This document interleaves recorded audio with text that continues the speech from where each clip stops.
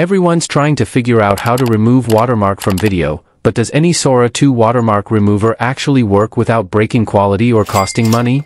I tested more than 20 different tools claiming to remove watermarks for free, and honestly, none of them worked. Some blurred the logo, some broke the quality, and others just crashed. But then, I found one magical tool that actually removed the Sora 2 logo perfectly in a single click, and the result looked unbelievably clean. But here's the thing, if you want this tool and method to work perfectly, you need to watch every single second of this video without skipping even a moment. Because if you miss one step, it won't work for you. And hey, to support small creators like me, please hit that like button, and subscribe if you're new here. It really helps me keep creating tutorials like this for you. Now, let's start.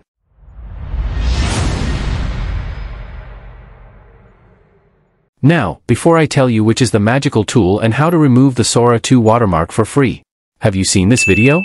In that one, I demonstrated how to create a full movie using just one prompt with Sora 2, and honestly, the response from you all was overwhelming. Look at these comments, your support truly means a lot to me. Now, before moving ahead, let's quickly preview the video I created using Sora 2. Hold on! We're rich! They're behind us!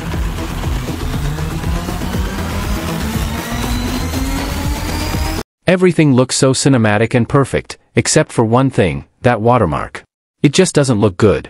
And if we could remove that watermark from these clips for free, this video would turn into an absolute masterpiece. So here's what I did. First, I downloaded the Sora 2 video clip to my desktop. Then, I opened Google and searched for AI Ease Video Watermark Remover. From the search results, I clicked on the link titled, Remove Watermark from Video Online for Free. Once the page opened, I clicked the button that says, Upload to remove video watermark. Then I saw the interface appear on screen. So I clicked here to upload the Sora 2 video clip that had the watermark. It might show you a small tutorial in the beginning, just keep clicking Next, again, Next, again, Next, and finally click Done. After that, I saw a brush tool appear. You can increase or decrease the brush size from here according to your need. Now, simply brush over the watermark area. But here's something important, Sora 2 usually places its watermark at different timestamps and at different areas of the video. So I moved the timeline playhead to find where the next watermark appeared, and there it was. Again, I used the brush to cover that watermark area. Then I moved the timeline again, and found another one. So I repeated the same step. Usually, Sora 2 puts the watermark in around three spots only. Let's move the playhead again to double check, and yes, the watermark appears in the same area. Moving further, again, the same area. So now, after selecting all the watermark areas, I clicked on the Remove button. The watermark removal started processing. And if you want to speed up the process, there's an option to subscribe to a paid plan.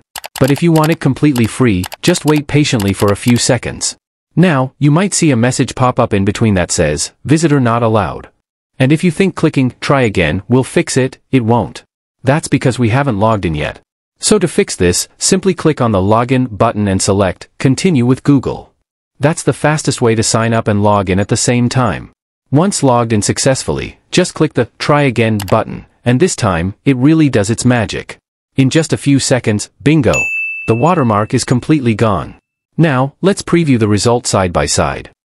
Hold on! We're rich! They're behind us!